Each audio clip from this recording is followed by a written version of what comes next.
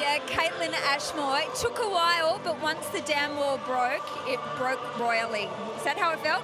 Yeah, um, it was a full four-quarter effort. Um, we never thought we had it in the bag at all, and um, that first, you know, half was really, really hard. But yeah, to get the win here, considering last last year they came back and it was a draw, so yeah, to get the win, um, we're really, really happy with that. Tell us a bit about your build-up because you were quiet last week. Libby Birch blanketed you. I think you were restricted to just three possessions. A lot more tonight, but what kind of pressure did you have running in your mind?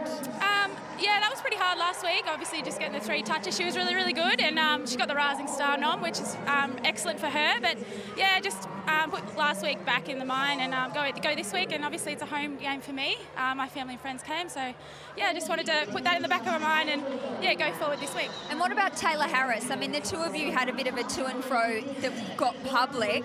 Um, what are your lasting feelings about that and coming up against her tonight?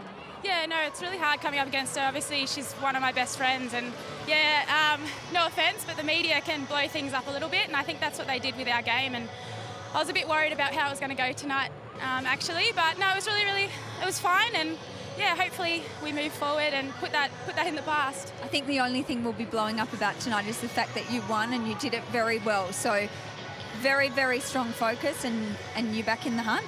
Yeah, definitely back in the hunt. Um, obviously last week I think it was our second quarter and yep. we had a big focus during the week is to uh, play that second quarter like, you know, like we play our third quarter, which is usually our best quarter and I think we really did that and that's where we got the couple of goals and and yeah, so keep keep going forward and um, hopefully a four quarter performance next week. Well done, Kaitlyn. Thanks very Thanks much. Thanks very much, Sammy. Thanks.